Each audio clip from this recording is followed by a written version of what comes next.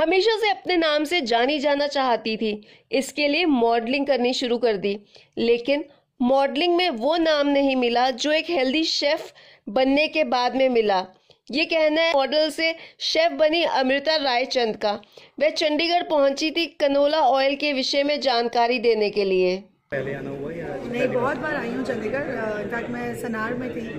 Schooling मैंने सनार में की है। इसे Chandigarh literally like my second home हमें दो दिन की जब छुट्टी मिलती थी वीकेंड की तो मैं चंडीगढ़ ही आती थी। थोड़ी जल्दी के बारे में बताएँगे अपने मूवीज़ से मॉडलिंग से movies and then shifting as a celebrity chef chef I know modelling was my most fun part जब मैंने स्टार्ट किया था एंड बिना प्लान किए सब कुछ शुरू हो गया था तो मैंने करीब सौ ब्रांड्स एंडोर्स किए इंक्लूडिंग वर्लपूल जिसकी मैं ब्रांड एम्बेसडर करीब छः साल से थी छः साल तक थी.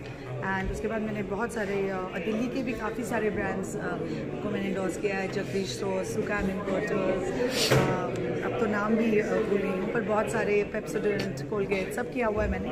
एंड उसके बाद मूवीज़ में मैंने थोड़ा बहुत ही किया। मूवीज़ एंड टीवी में ज़्यादा नहीं किया क्योंकि समाओ कभी मेरा इंटेंशन था ही नहीं इसलिए मैं हमेशा मॉडलिंग करती थी और इसलिए मैं यूजली मम्मी के रोल्स की मॉडलिंग करती थी।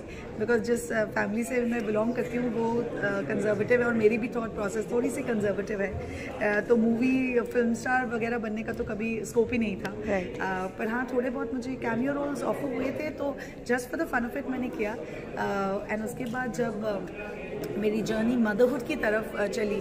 तो I wanted to do something which is more stable and something that I that makes me really proud and मैं uh, अपनी जर्नी अपने नाम मैं अपनी जर्नी अपने नाम से तय करना चाहती थी। तो मैं अ, प्रीति सोना शर्मिला के नाम से नहीं जानना चाहती थी। मैं अमृता रायचंद के नाम से अ, मेरी अपनी पहचान बनाना चाहती थी जो मुझे एज अ शेफ़ मिली। एंड मैं हेल्दी कुकिंग करती हूँ बच्चों के लिए कुकिंग में स्पेशलाइज करती हूँ। मेरे बेटे अगस्त्य के आने के बाद मैंने ये जर्नी स्टार्ट की and by God's grace I been pretty successful and Punjab में भी मैं बहुत बार आ चुकी हूँ। और पंजाब में अगर लोग मुझे हेल्दी शेफ़ के नाम से जानते हैं तो आई थिंक कुछ तो मैं ठीक ही कर रही हूँ। राइट अमृता की सिग्नेचर डिश क्या है? अमृता की सिग्नेचर डिश सब कुछ जो हेल्दी है वो है।